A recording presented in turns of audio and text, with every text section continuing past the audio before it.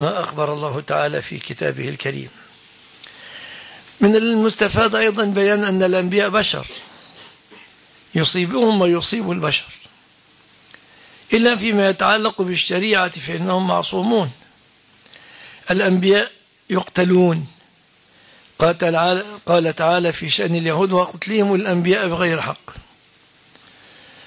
ويجرحون. فالرسول جرح في الغزوة. شج رأسه كسرت رأسه. شج رأسه وكسرت رباعيته. أسنانه المقدمة كسرت في هذه الغزوة عليه الصلاة والسلام.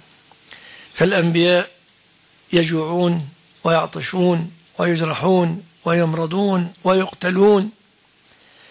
إلى غير ذلك مما يصيب البشر. قد أصيب أيوب عليه السلام بالمرض ثمانية عشر عاما. فلا يظن شخص أنك ما دمت مؤمنا لن تبتلى في بدنك أو في مالك أو في ولدك أو في أهلك. بل البلاء سنة ملازمة وما يزال البلاء بالمؤمن حتى يمشي على الأرض وما عليه خطيئة.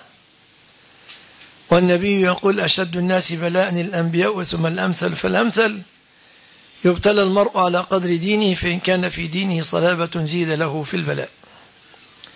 فلا يظن شخص أنه ما دام تقيا أنه سيعافى في كل شيء. وهذا ظن خاطئ. والله قال إن تكونوا تألمون فإنهم يألمون كما تألمون. ولذا تجد علماء وفضلاء ابتلوا بأشد الأمراض ابتلوا بالسرطانات ابتلوا بالطاعون. وكم من صحابي جليل مات بسبب طاعون عمواس في زمن أمير المؤمنين عمر رضي الله عنه وكان طاعونا يعصف بالآدميين. فلم يكن يستثنى صحابي من غير صحابي والكل يبعثون على نواياهم وعلى دينهم. فقد تبتلى وأنت صالح تقي. ولكن شتان ما بين البلاء الذي يحل بالعصاة وبين البلاء الذي يحل بالمطيعين. فالبلاء الذي يحل بالمطيعين لرفع الدرجات ولتكفير الخطيئات. أما الذي يحل يحل بالعصاة والمجرمين انتقام من الله منهم. كما قال فخر عليهم السقف من فوقهم وأتاهم العذاب من حيث لا يشعرون. وعلى الجميع أن يعلم أن الأيام دول يداولها الله بين الناس. فلو كان النصر دائما حليفا لأهل الإيمان لدخل في المؤمنين وفي صفوفهم من ليس منهم. لدخل المنافق ودخل الكافر الكذاب. ولكن شاء الله أن يبتلى أهل الإيمان للتمييز تمييز الصف المسلم.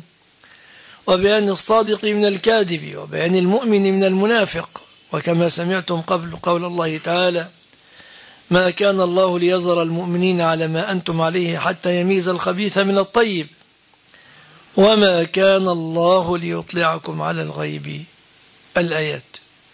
فالابتلاءات تمحص وتبين كما قال الله تبارك وتعالى في